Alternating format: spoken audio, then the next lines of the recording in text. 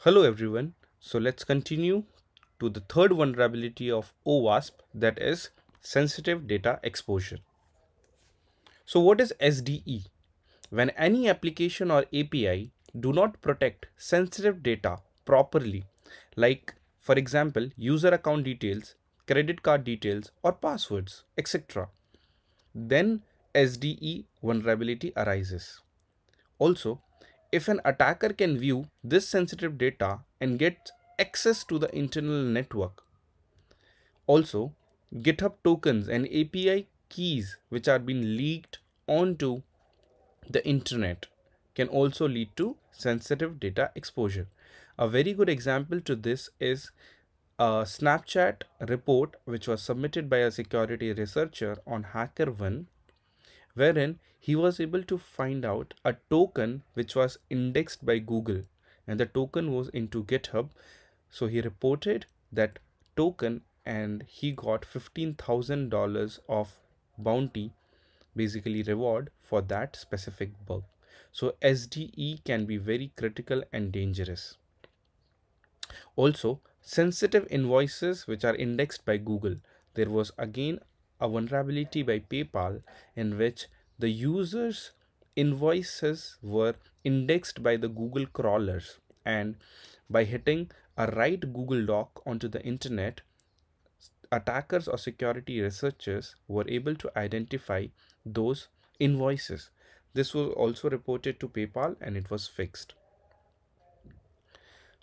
And insecure storage of data also leads to sensitive data exposure which means if any website or owner is storing some of the important critical files, for example, db.conf, which contains database credentials, or login passwords.txt, which contains the credentials into its server, any user can try to get those files using a directory brute force. So why SDE happens? No proper access control over when exchange of sensitive data occurs. There should be proper access controls.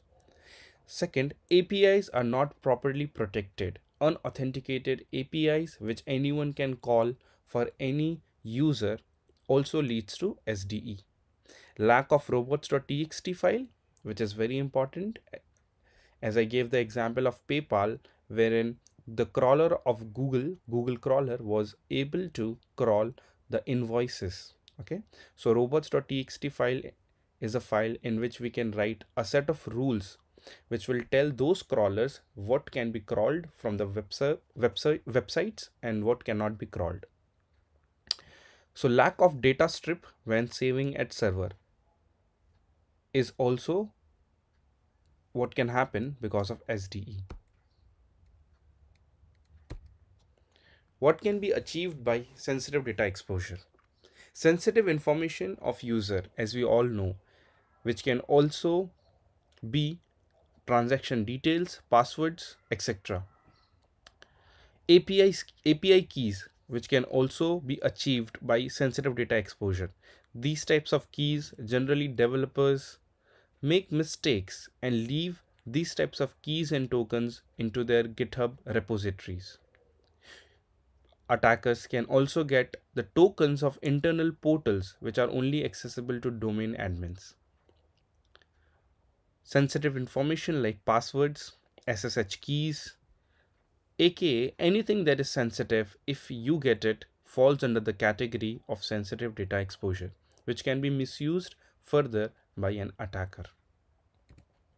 So how do we fix sensitive data exposure issues? The first step is don't store sensitive data unnecessarily. Next, make sure to encrypt all the sensitive data at rest.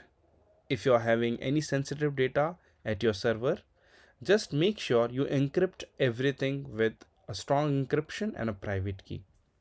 Disable caching responses that has sensitive data. So disable any application caching any types of responses into their browsers.